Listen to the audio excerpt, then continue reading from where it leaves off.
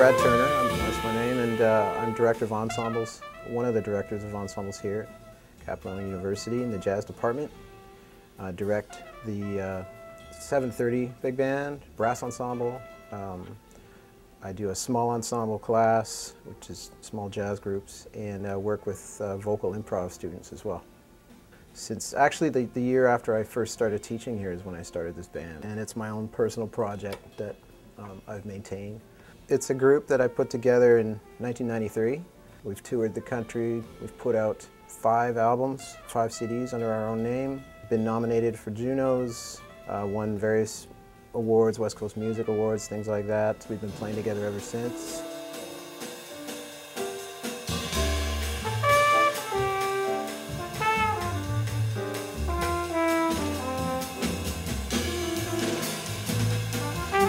You know, I've learned through the years with this band that if I write something new and I kind of know ahead of time that we're probably not going to have a chance to rehearse much, I got to keep that in mind when I'm writing and not overwrite stuff that's ridiculously hard, you know. Don't hand out any science projects on the stand and expect people to come up with it right away. It's not really fair.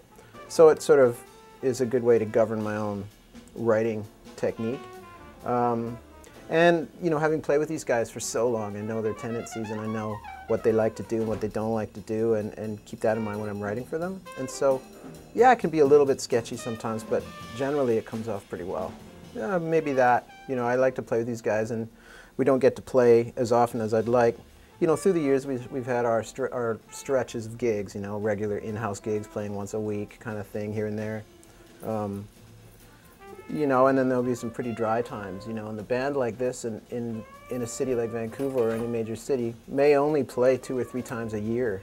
So, so it's pretty specialized kind of thing.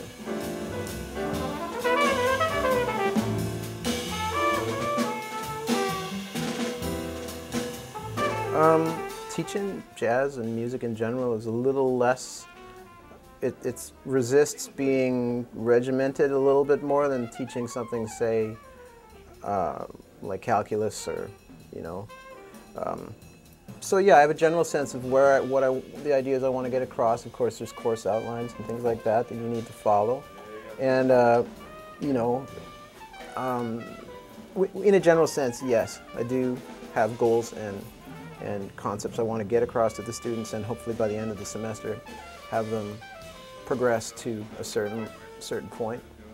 Uh, but like I say, it's kind of hard to to be real cut and dried about that. Everyone's skills are so different. Everyone learns differently. So. Uh, I was in the room actually, this is years ago, and Bruno was playing his piano. It was driving him insane, so he took it upon himself to tune it. And uh, he was tuning it, and this is when Bruno was starting to learn how to tune pianos, and he actually is an accomplished piano tuner now and does it professionally. But this is back in the Yeah. the formative days of Bruno's tuning.